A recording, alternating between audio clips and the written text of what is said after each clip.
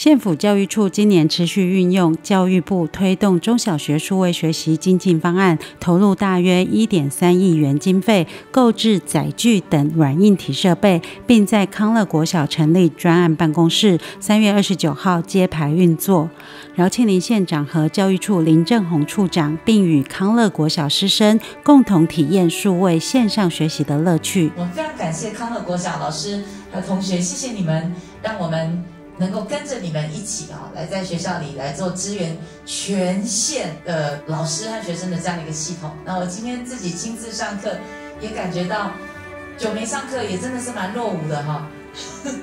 呃，谢谢大家给我成长的机会，好，谢谢大家，谢谢。不是直接打开 Google Meet，然后分享 PPT 才叫做数位学习。如何善用科技，让学生的学习更有效率、更有兴趣？透过现在数位科技，他可以去做 information research，然后再去做一个自己的主动学习，这是我们整个计划里面最重要的核心价值。它不会是个临时性的，起码它。